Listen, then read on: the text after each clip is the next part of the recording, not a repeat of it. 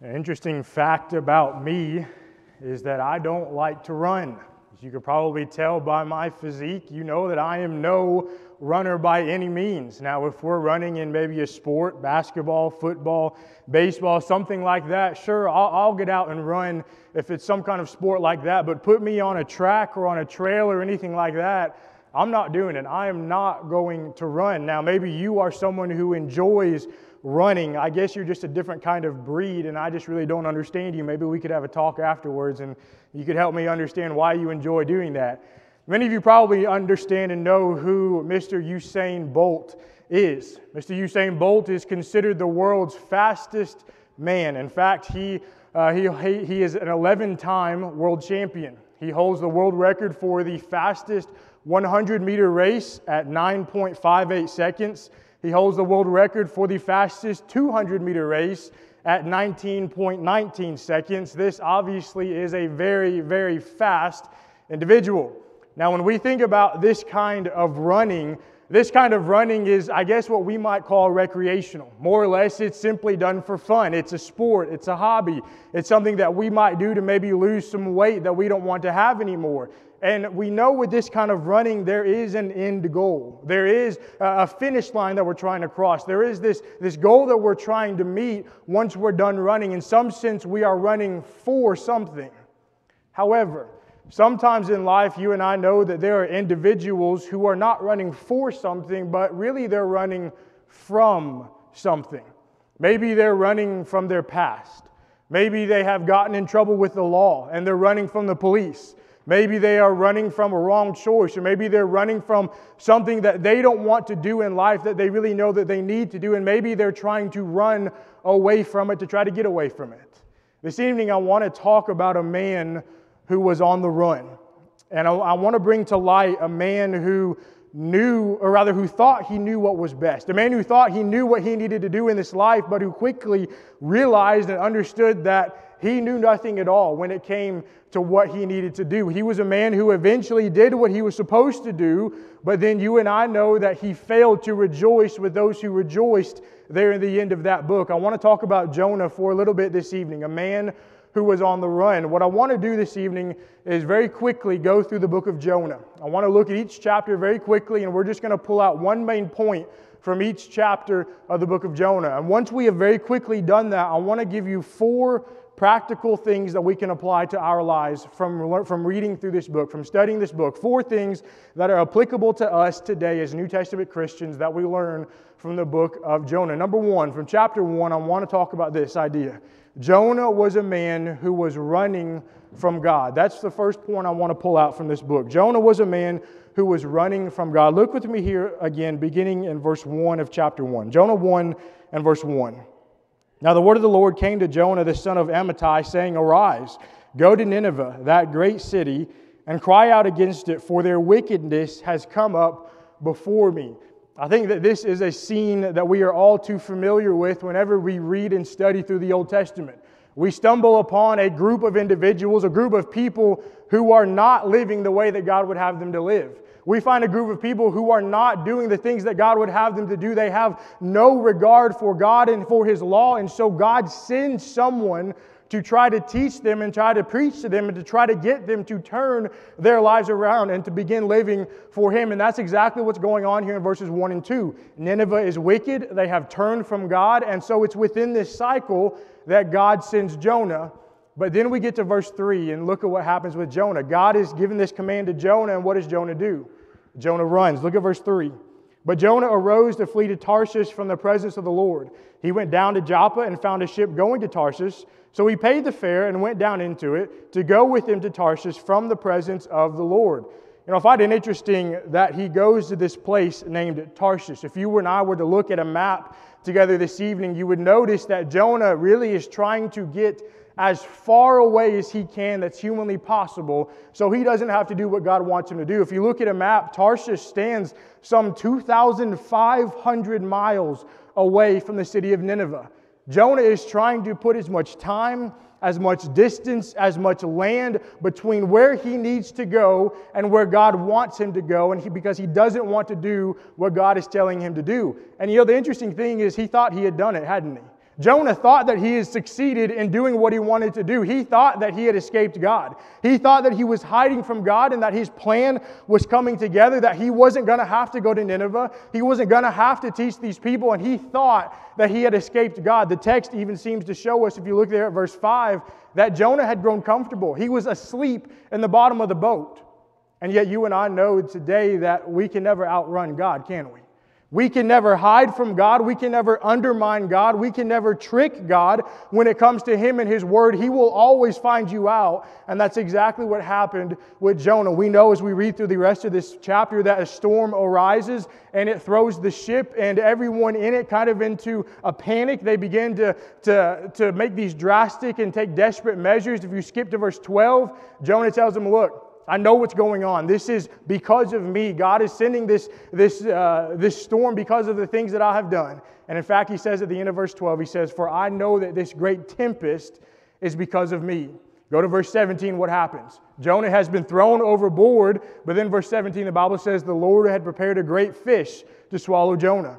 And Jonah was in the belly of the fish for three days and for three nights. Jonah in chapter 1 is a man who was running from God. Let's go to chapter 2. Jonah chapter 2, we find Jonah a man who was running to God.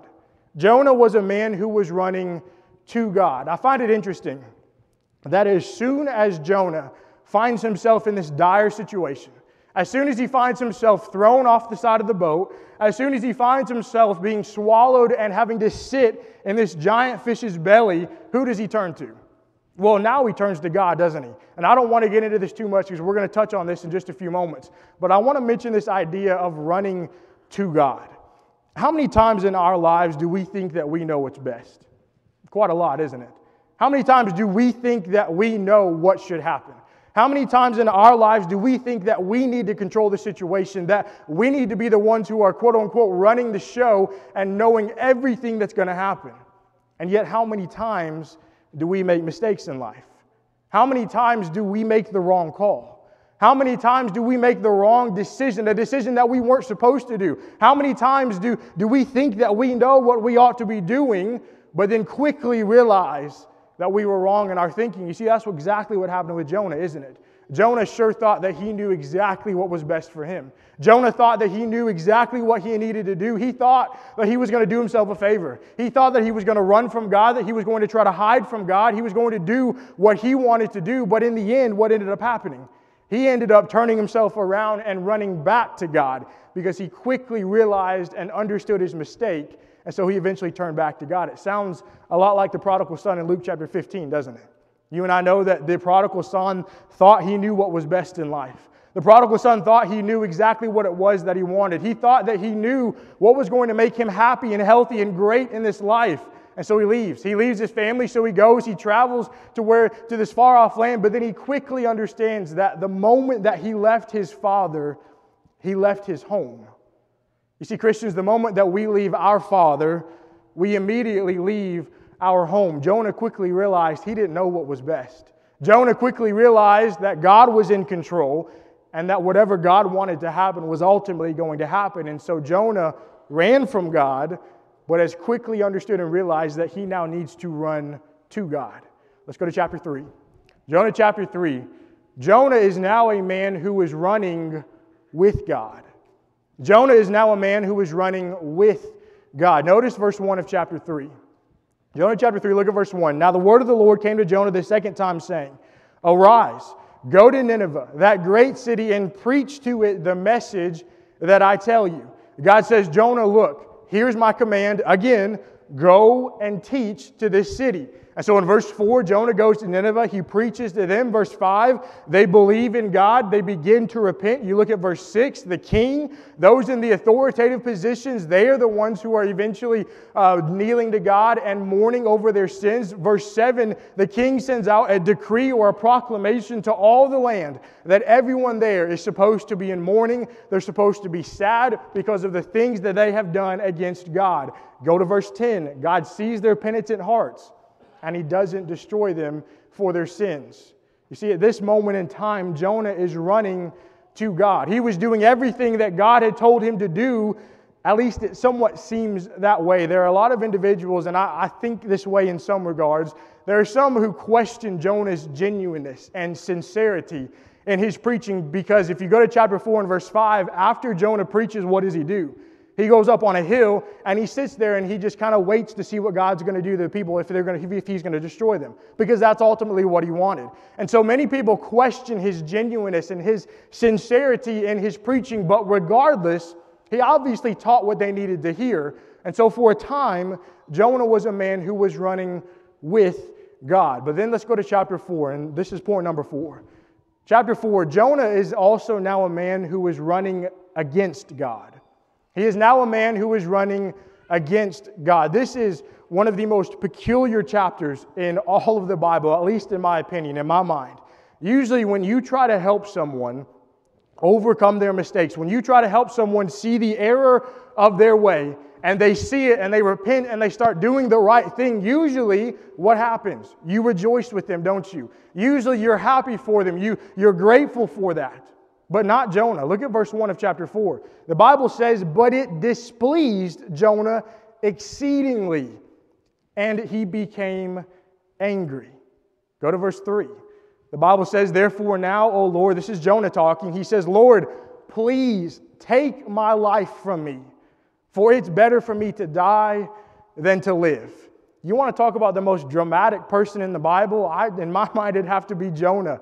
Uh, Jonah says he'd rather die than these people repent and turn back to God. Look, Jonah is called by God to go and preach to Nineveh. He decides that's not what he wants to do. So he goes and he tries to run. He gets on a ship. That storm comes. He gets thrown overboard. He gets swallowed by that fish.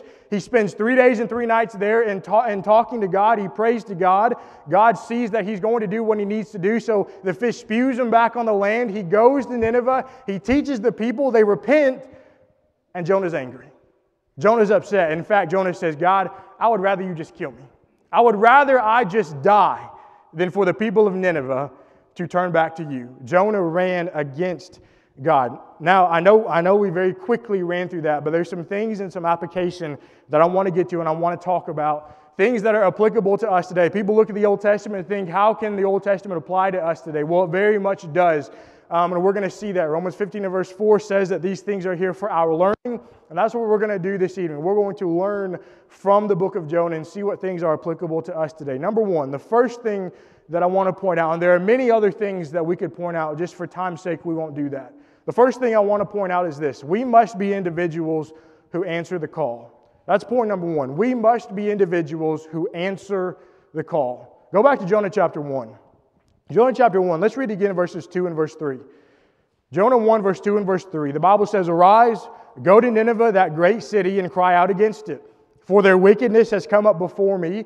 But Jonah arose to flee to Tarshish from the presence of the Lord. He went down to Joppa and found a ship going to Tarshish. So he paid the fare. He went down into it to go with him to Tarshish from the presence of the Lord.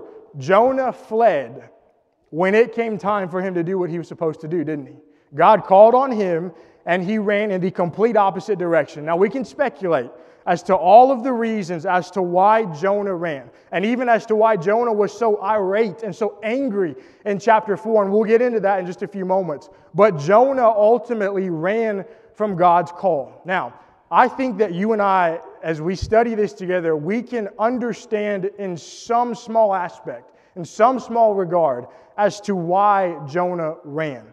I think from a human being standpoint, from knowing how human minds work, I think you and I can understand and kind of see at least where Jonah is coming from when he, when he runs. Now, that doesn't mean his decision to run is right, but I think we can at least understand and see it. Think about it.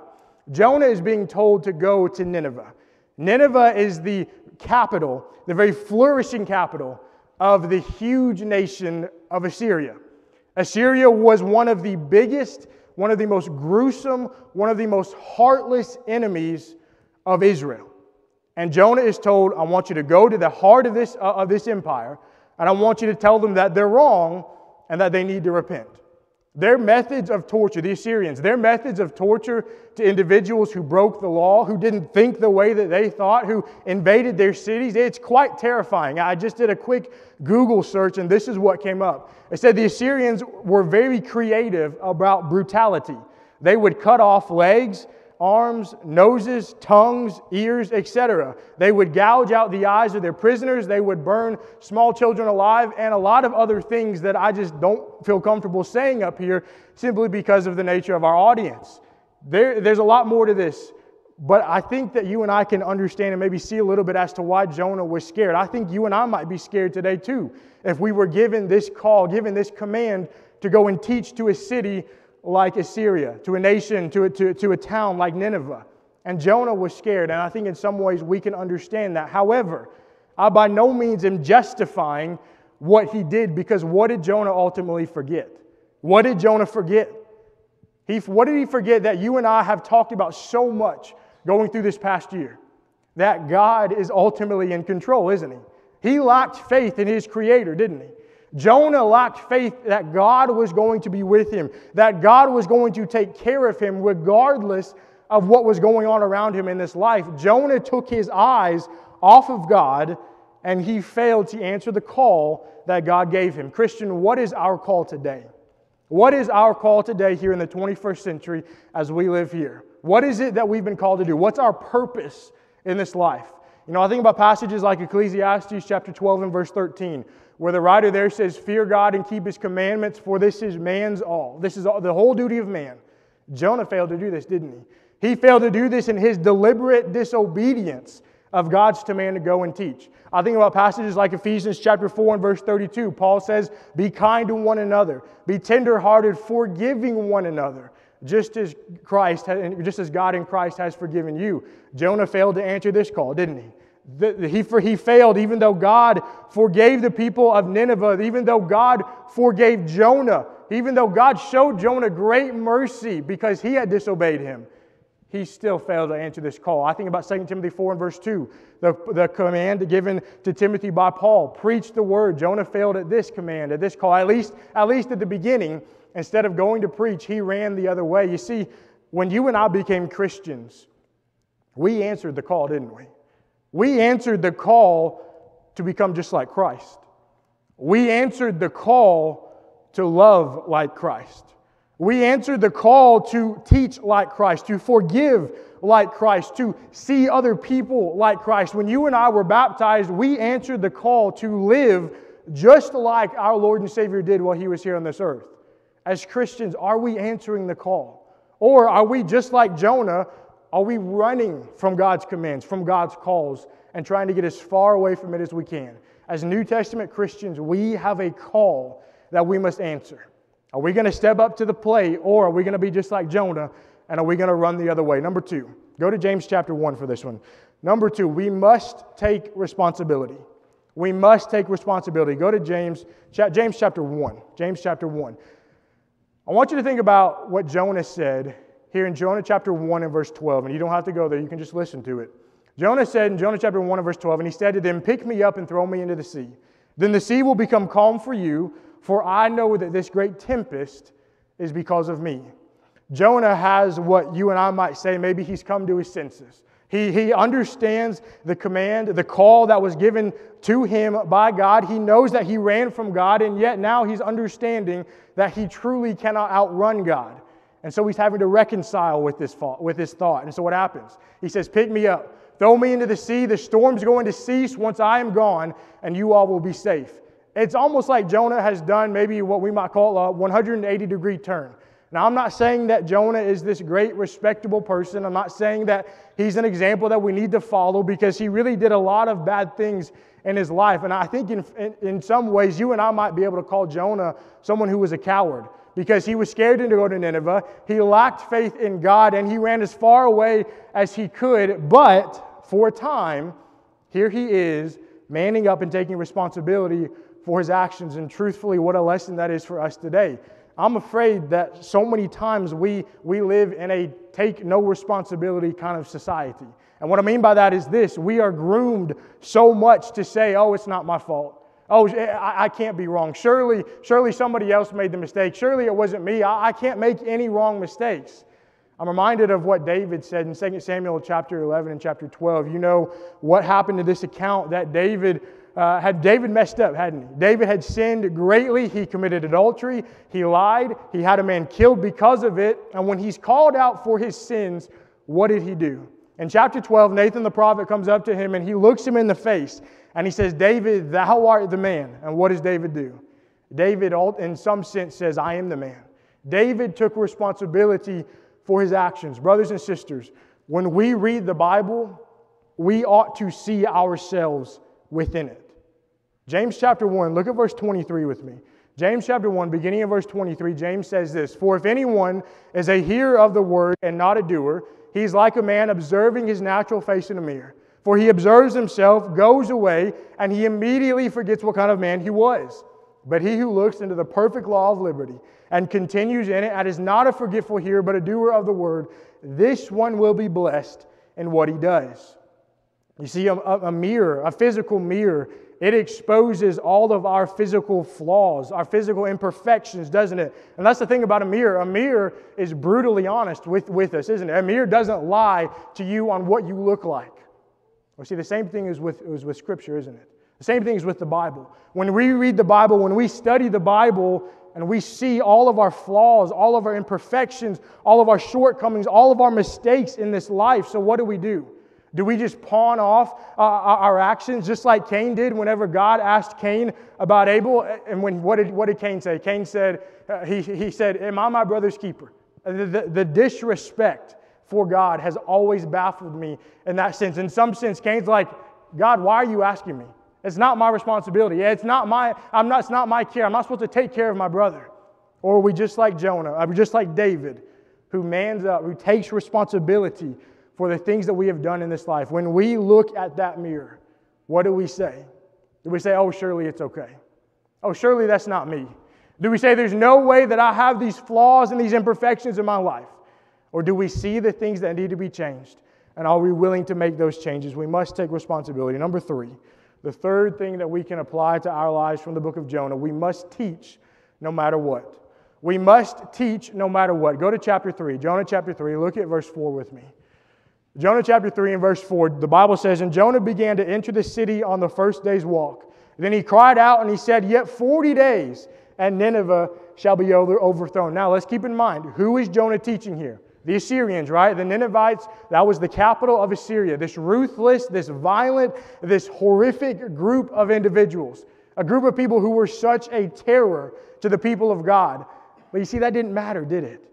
It didn't matter because they were still in need of the mercy and the forgiveness and the grace of our God, just like Jonah was, and just like you and I are in need of today they still needed to hear that they needed to repent and that they needed to turn back to God. It didn't matter all of the things that they had done in this life. They needed to hear it just like Jonah did. Now, again, I think we can understand somewhat of Jonah's fear of the Assyrian people, but in chapter 3, he doesn't allow that to stop him this time, does he? He doesn't allow his fear of his physical life to stop him from teaching and preaching to the people of Nineveh. He's living out what Jesus said in Matthew chapter 10 and verse 28 when Jesus said, Do not fear those who can kill the body, but rather fear those who can kill the body and soul in hell, talking about Almighty God. I think this point is so important especially in light of the past few weeks, our evangelism seminar that we just had, in light of the few lessons that Jonathan has and that he will be presenting on Sunday nights. John chapter 4 and verse 35 has never been spoken more truthfully and more loudly than I think it has been today. John 4 and verse 35, Jesus said, Behold, I say to you, lift up your eyes and look at the fields, for they are white unto harvest. On one of our bulletin boards in the back hallway back here, it says this it says, Every person who knows Jesus is a missionary, and every person who doesn't know Jesus is a mission field. Look, we can go across the world, we can send money, we can send resources, we can send books, and all of that is good and well. It needs to be done. But I'm afraid that far too often we forget what is right here in front of us. None of this is going to work until we put forth the effort, until we put forth the diligence, until we put forth the hard work to teach those around us. If we don't put in the effort, nothing's going to get done. Young, middle aged, those who are older, we all have a responsibility. And that responsibility is to seek and to save the lost. Luke 19 and verse 10. We cannot worry about what other folks might say. We can't worry about what other folks might do. We can't worry about what other folks might think about you and I today. We must be about our Father's business in terms of what's going on around us. Number four, the last thing that we'll look at uh, this evening. We must remember what God has done for us. Remember what God has done for you. And this is so ironic to me. And as I was reading through the book of Jonah this week, this really just kept standing out to me as I kept going through the text. Look at Jonah chapter 4 and verse 2. Jonah 4 and verse 2. Now keep in mind, Jonah has just preached to the people of Nineveh. They needed to hear what he needed to, what he was going to say. They heeded the warnings, and so they repented. And yet Jonah has the most peculiar reaction in verse 2 of chapter 4. Look at verse 2. So he prayed to the Lord and he said, Ah, oh, Lord, was not this what I said when I was still in my country? Therefore I fled previously to Tarshish for I know that you are a gracious and merciful God. I know that you are slow to anger and abundant in loving kindness, one who relents from doing harm. Jonah might be the most successful preacher and yet also one of the most unhappy preachers that has ever lived in this life. He preaches, and essentially an entire nation comes forward and responds, and he's upset. Jonah is mad. Jonah is angry. He says, God, look, I knew this was going to happen. I could have told you, God, that this was going to be the outcome. And he's so angry, he's so upset at God that God spared Nineveh. I knew you were merciful. I knew you were loving. I knew you were forgiving. Which is so ironic, isn't it? Because some three chapters before, what was Jonah doing and what was Jonah in need of? Mercy, grace, a God who is slow to anger, a God who is abundant in kindness. That's exactly what he received, just like the people of Nineveh. And yet Jonah is so mad and so upset about this. Jonah was blind, wasn't he?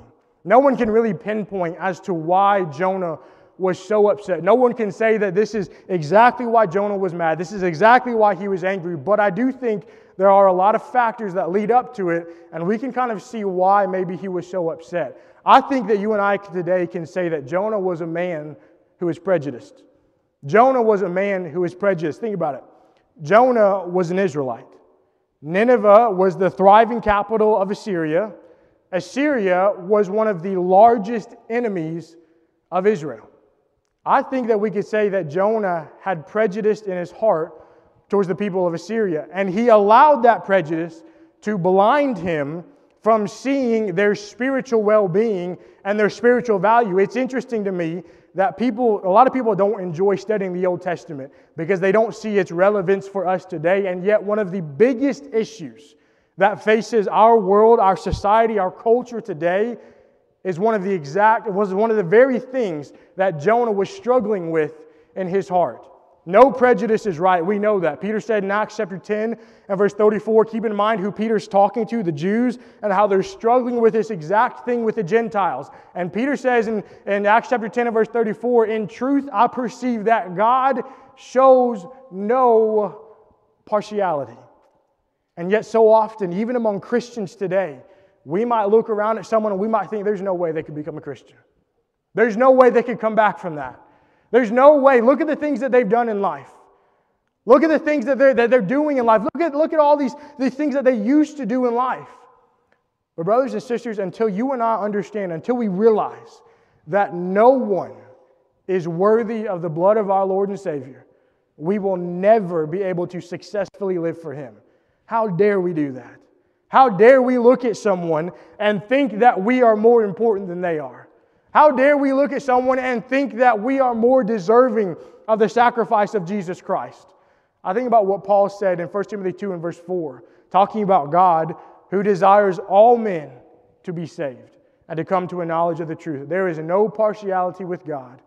Therefore, there must be no partiality with you and me today. Look, I know the Assyrians were a gruesome people, probably some of the most violent and grotesque people in our world's history. They ransacked towns, they tortured people, they killed children. They had no respect for God and His Word, and yet God offered them the exact same opportunity that He offered Jonah. And yet Jonah failed when it came to seeing that every single individual has an opportunity to be right with God, remember what God has done for you. You know, when we look at Jonah, I suppose that Jonah is not really the best role model for us today, is he? However, I do think that there are some lessons that we certainly can learn from a man like Jonah.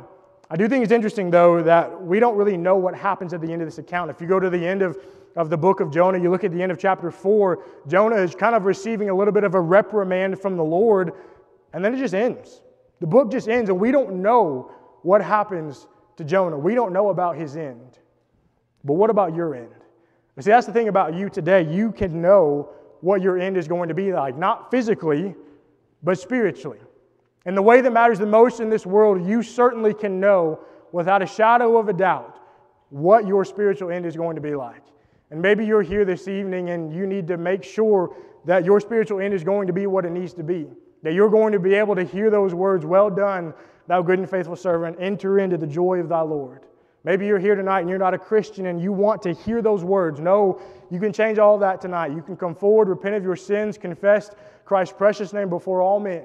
You can be baptized into water. This water, a representation of Jesus shed blood on the cross, washing away your sins, and you can walk out these doors rejoicing. Maybe you're here, as I think most of us are tonight, as New Testament Christians, but maybe your life's not what it needs to be. Maybe your priorities are, are wrong. Maybe your life's not on track. Maybe things in life have been getting you down and distracted. No, we can pray for you. You can be encouraged by your brothers and sisters. We can encourage you. You can encourage us. Or maybe you're here and life's tough. I know it is. Life is, life is discouraging sometimes. And maybe you just need to be encouraged. Maybe you need the prayers of your family here at East Hill. We can do that tonight as well. Whatever you need, won't you come as together we stand and as we sing.